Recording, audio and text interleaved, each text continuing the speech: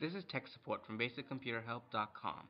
In this video, we will, we will be demonstrating how to use file sharing apps on your Apple device.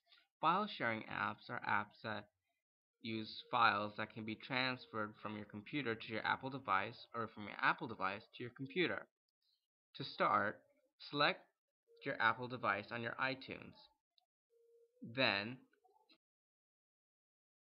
click Apps on the top. Then scroll all the way down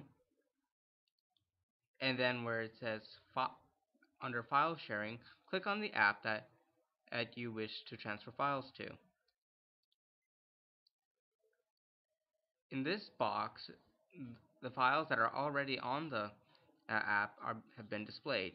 If you wish to put the file from the app onto your computer, simply click on the file and then click Save To then choose the folder you wish to save in your computer, the file on your computer. Then click Select Folder. If you wish to uh, add a file from your computer onto your app, simply click Add. Then select the file that you wish to use. Then click Open.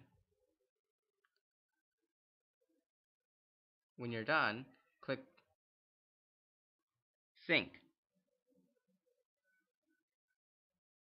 And that is how to use file sharing apps with your Apple device.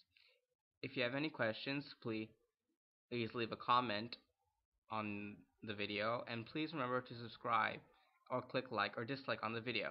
This is tech support from basiccomputerhelp.com signing